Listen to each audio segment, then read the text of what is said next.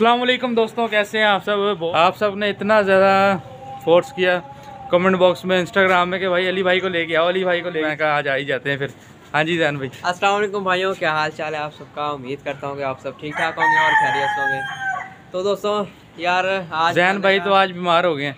मैंने कहा चले आज हम शुरू करते हैं। तो काफ़ी भाई कह भी रहे थे कि यार आप अली भाई को नहीं लाते मैंने कहा चले आज आप ही शुरू कर लेते हैं। और दोस्तों आज तबीयत काफ़ी ख़राब है मेरी। काफ़ी नज़ला हो रहा है ज़ुकाम हो रहा है कान में काफ़ी दर्द है इसकी वजह से मैंने ये टोपा पहना हुआ है। तो आज बस अली भाई आपको सारी चीज़ें दिखाएँगे जो दिखानी होगी मैं बस आराम से यहाँ पे रेस्ट करूँगा।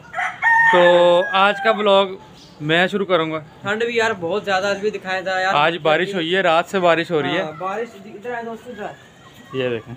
ये देखिए दोस्तों जो हमारी तोड़ी थी सारी देखें सारी गीली हो चुकी है यहाँ पे से। और हमारा और खाली था वो भी सारा ख़राब हो चुका है। अभी भी बारिश आहिस्ता आहिस्ता शुरू हो रही है। हमने कहा इससे पहले तेज़ बारिश शुरू हो जाए।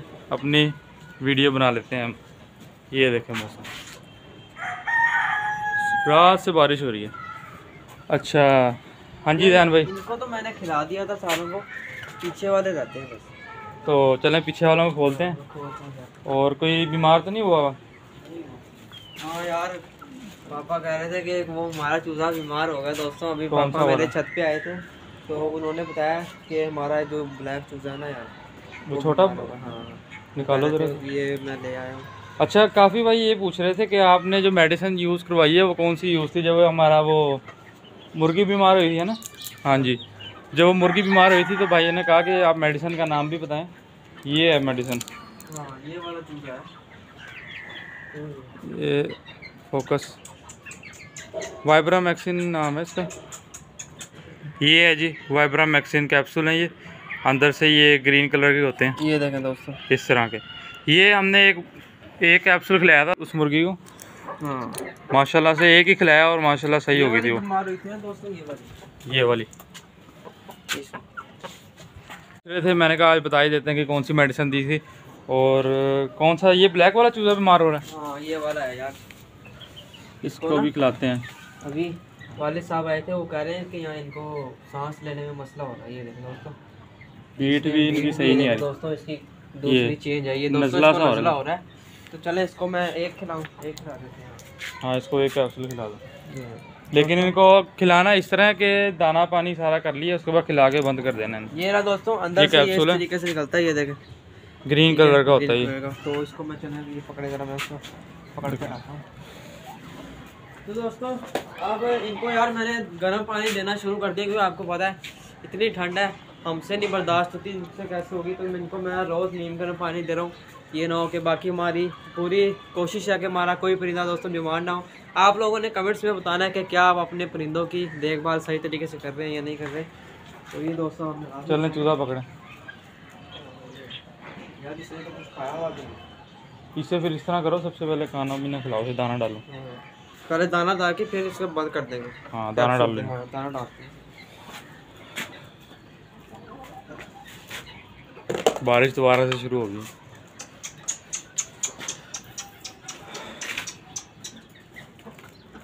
यार दोस्तों मुँह से भी नहीं निकल रहा मेरे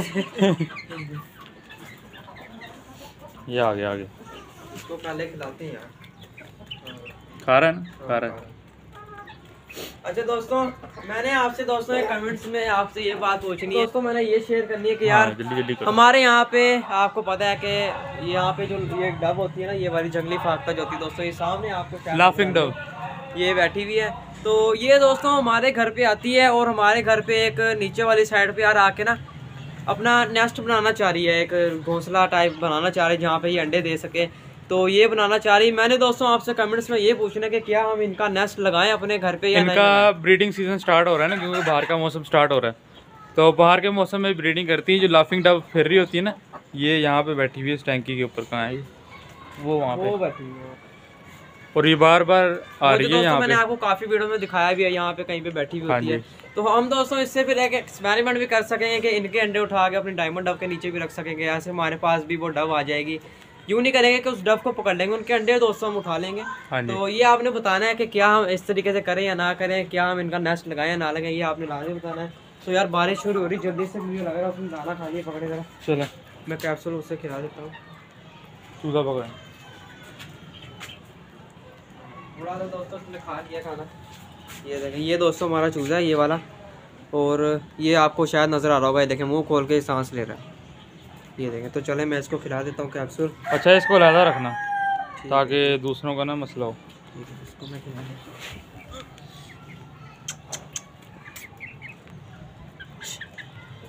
चलो चलो। ये देखें दोस्तों ये खांसी कर रहा है बड़ी बुरी तरीके से। यार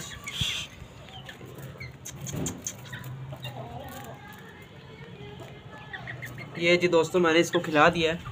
इस चूजे का दुआ कीजिएगा दोस्तों कि ये जल्द से जल्द ठीक हो जाए इंशाल्लाह ठीक हो जाएगा क्योंकि बड़ी ज़बरदस्त दवाई है ये। ये जो है ना वाइब्रोमैक्सिन एक दफ़ा ही खिलाना पड़ता है बस इसको। ज़्यादातर दोस्तों मैं हम यही यूज़ करवाती हूँ यार हमें बड़ा फ़ायदा देता है ये।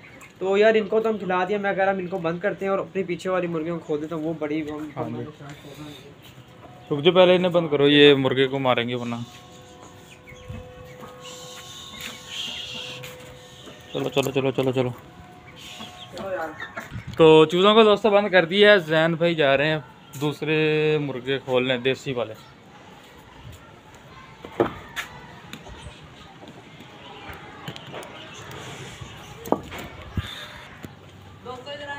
क्या हुआ? हाँ जी। दोस्तों देखिए ज़रा मैं क्या करूँगा आप ज़रा पीछे हो जाए। ये लो हो गए पीछे।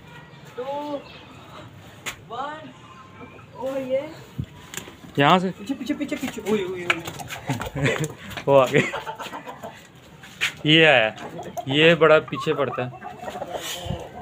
दोस्तों मैं इसलिए वाकई आया क्योंकि यार ये हमारा मुर्गा जो ना पीछे पड़ जाता बड़ी बुरी तरीके से और इतनी ठंड में अगर ये पंजे मारेगा तो आपको पता ही क्या होगा। क्या आप लोगों ने किसी मुर्गे का पंजा खाया ये आपने मुझे लास्ट में बताया हमने तो बड़ी बार खाया है। एक दफ़ा दोस्तों आपको बताता हूँ मैं। जब हमारा पुराना मुर्गा था ना, मैं दोस्तों आ रहा था छत पे, वो दीवार पे चढ़ने की आदत थी, आपको याद होगा।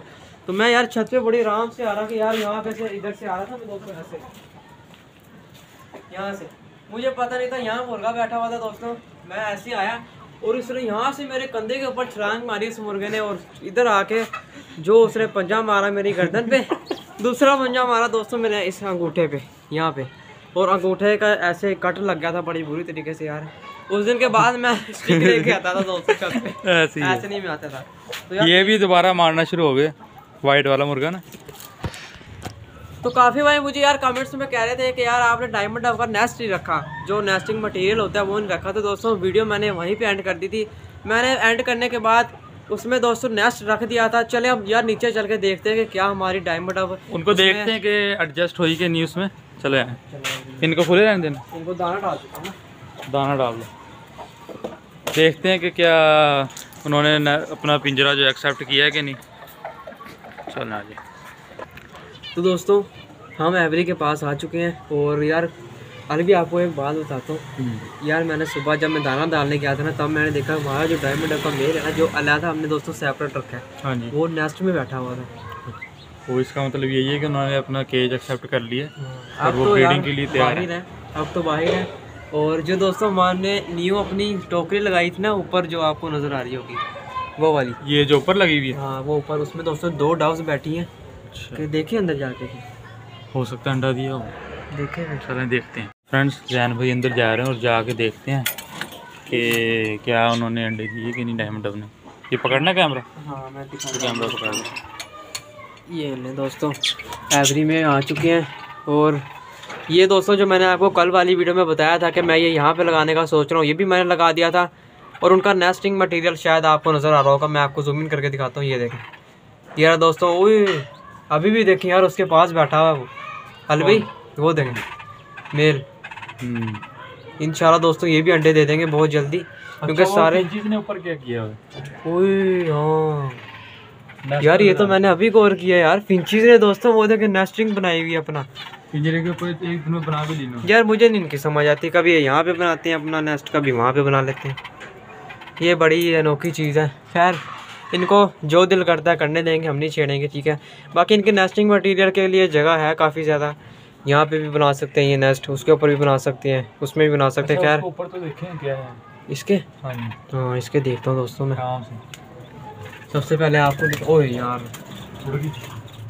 कौन ये न्यू वाली जो हमारे घर के, ये दूसरी भी चलेगी।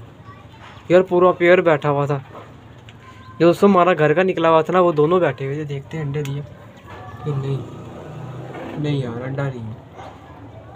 अंडा नहीं है दोस्तों, कोई भी अभी। हो सकता है दे दें एक दो दिन तक।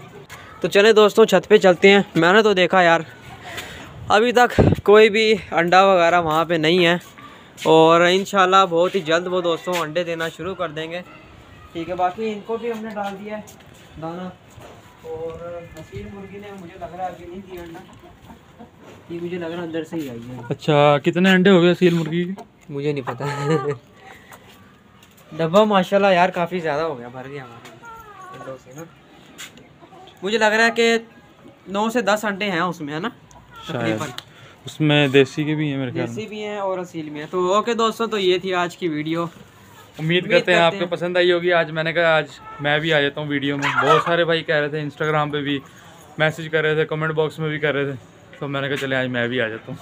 तो मिलेंगे दोस्तों इंशाल्लाह किसी और वीडियो में किसी और ब्लॉग के साथ। और यार अगर आपने चैनल को सब्सक्राइब नहीं किया तो सब्सक्राइब करें लाजमी। यस तो, तो मिलेंगे दोस्तों इंशाल्लाह किसी और वीडियो में किसी और व्लॉग के साथ। तब तक के लिए दोस्तों अल्लाह बारिश तेज़ होगी।